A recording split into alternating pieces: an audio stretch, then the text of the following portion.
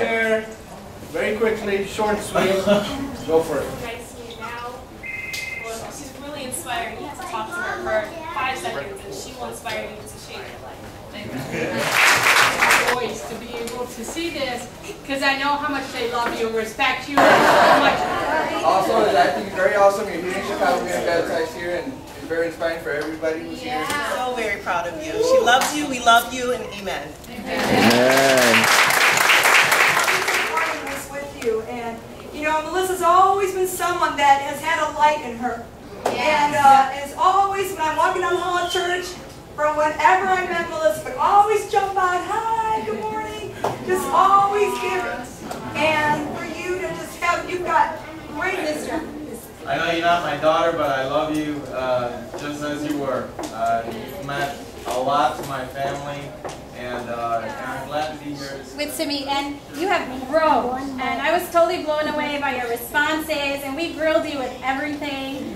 And um, she had her own convictions about everything, and I totally saw it's not your dad's or your mom's or anybody's. always take care of you, We'll always protect you. We love you so much. and I'm just so proud. It just makes me so emotional to see the next generation coming along again and again. And just so, so proud of you. Thank you for letting so us share impressed this. with your attitude, your spirit, and, uh, and now to take on this challenge of moving to another city, and uh, now deciding to become a disciple.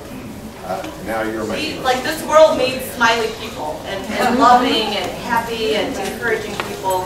And I just, I'm so proud of you, I love you, I really look up to you and your mom's relationship, too. It really inspires You me. know, just so quickly you've grown, and uh, you know, every every year, uh, this, this God's been working and teaching you and preparing you for this day and preparing you for the days that are ahead. And I'm just so uh, And we asked you what your dream was, and you said, you know, I want to go to a mission team. I want to go on a mission team sometime.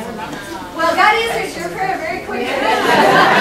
because you are in, you are in um, Grand Rapids, and um, I just second what Esther said. You're the light to the team. And it was just so exciting when that happened. And just seeing your change right in front of my eyes. So it was really good. And she's just a beautiful young lady, and I just can't wait to see what God has in store for her. That's a great thing. Welcome, Michael.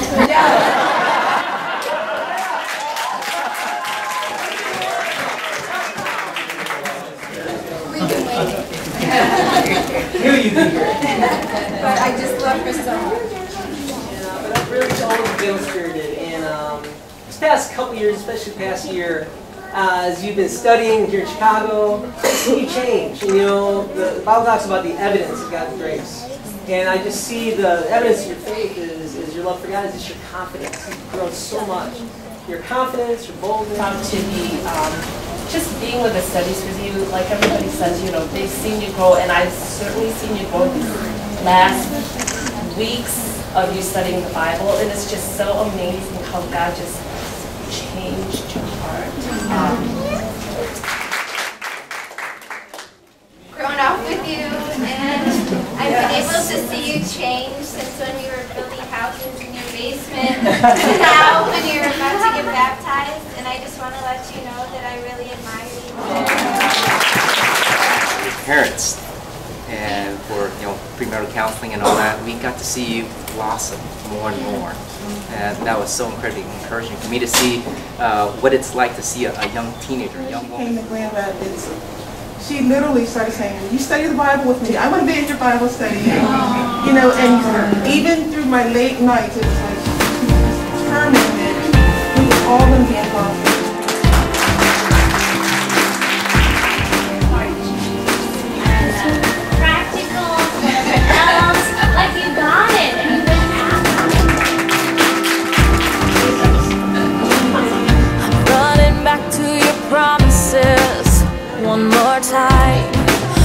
That's all I can hold on to.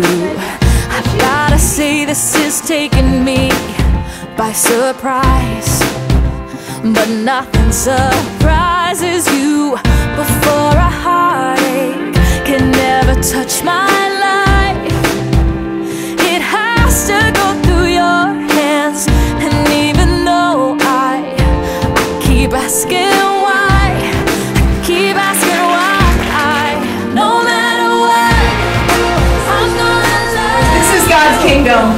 Yes, sir. And I'm so proud of. I love you of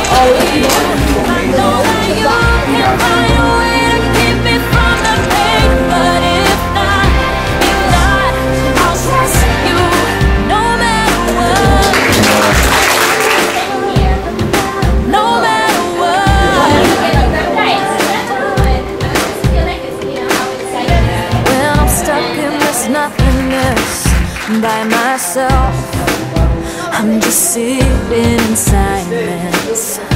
There's no way I can make it without your help. I won't even try it. I know you have your reasons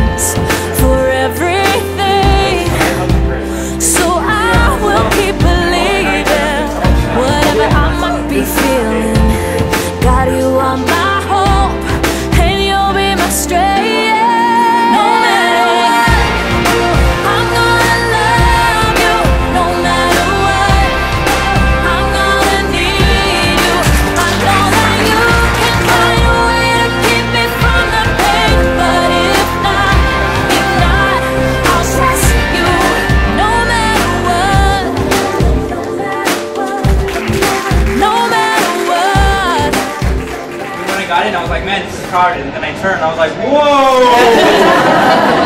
and it just shows like, I God's love for you. And I'm just, I'm proud to be your brother. And um, I've seen you change so much over the last year. And I remember, you know, I remember, you know, my mom said, so most of you baptized next year. I'm like, what? You?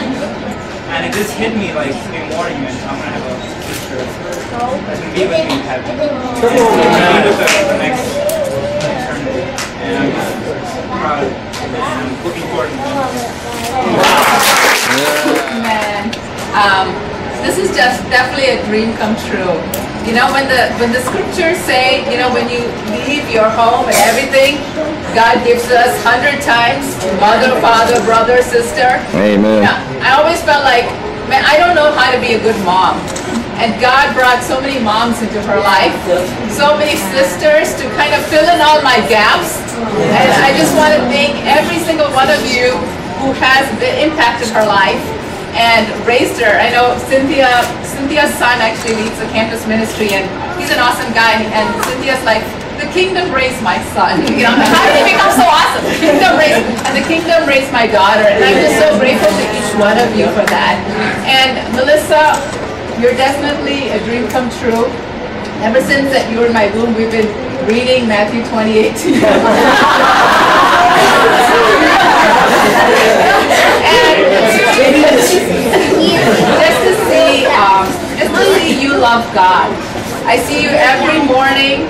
You know, I'm sitting there having my quiet time, six o'clock. There you're walking, going to pray. You know, and you know, just denying yourself, just giving, just serving. And I know uh, there's so many challenges that you have through the studies. But you're just so humble, even too humble that you're letting your mom be in your sin studies and just being vulnerable and open. It just drew me close to you. You're like my sister. I enjoy our relationship. I love you, and I'm so glad that I could be here with you. You have the heart of God. I want to share Isaiah 59 from my new Bible.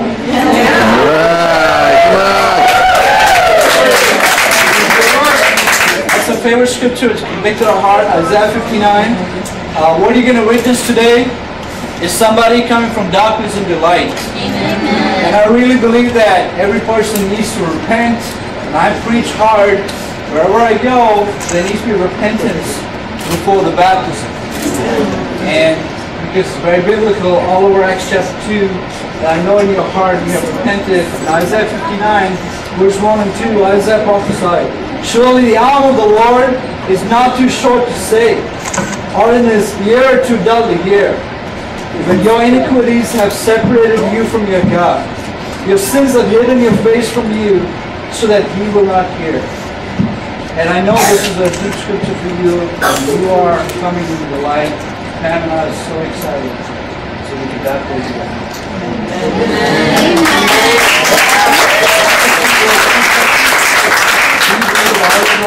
Melisa George, the Jesus Son of God.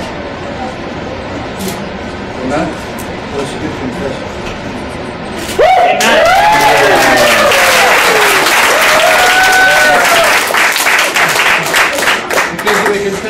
Now baptize you in the name of the Father, and of the Son, and the Holy Spirit, so that all their sins are washed away, and you will receive God's Holy Spirit.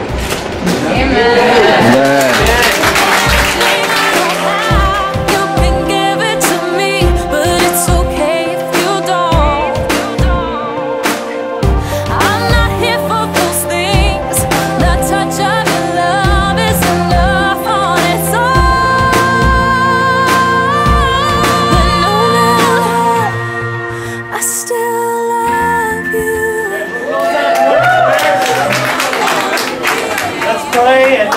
fellowship outside. Uh, God Almighty, uh, thank you so much for this day. I know that what you've done is good, it's so beautiful.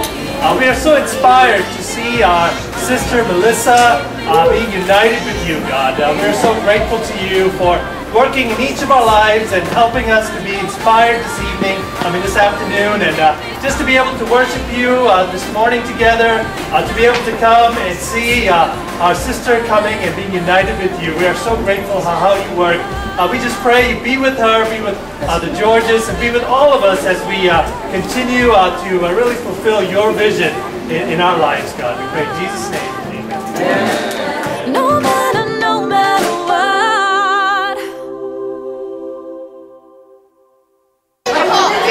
Blown away. God's good, God's beautiful. Keep at it, keep, just keep believing, just believe.